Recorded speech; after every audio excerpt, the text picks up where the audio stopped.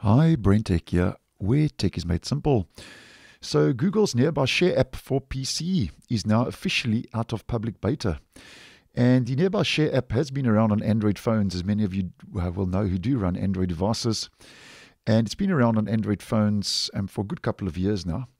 And since about March, as I have been posting, it was generally available to the public, but was in a beta phase. So it was still in preview and now is officially out of public beta and now should be a lot more stable. And you can see now, even from the title, it doesn't say Nearby Share Beta from Google anymore. It just says Nearby Share from Google.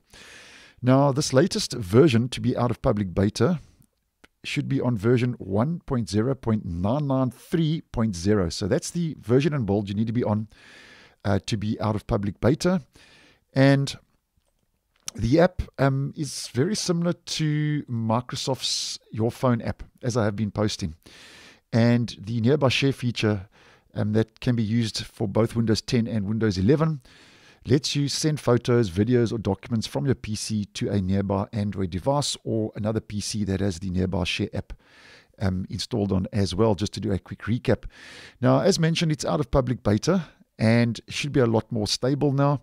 And just to show you how this works, uh, in case you are unaware, um, just to transfer an image to my Android phone, just to show you how this works um, using the Nearby Share app.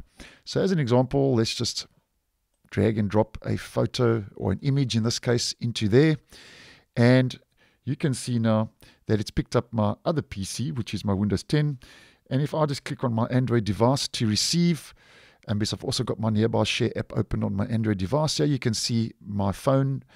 And if I click on that, it should take a second or two to connect. And it says receiving from my PC. And there we go. You can hear it, that um, reception of that image over on my Android device that's sitting right next to me here on my desk.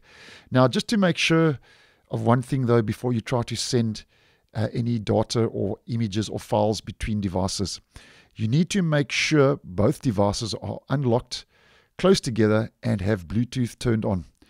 And uh, um, the devices you're sharing with need nearby share turned on and visible to you. So just take note of that. But the big thing here, um, after that demonstration, just letting you know that it's out of public beta now and has now become a fully fledged stable app nearby share from Google for both Windows 10 and Windows 11. And as mentioned, lets you send those photos, videos, or documents from your PC to a nearby Android device. So thanks for watching, and I will see you in the next one.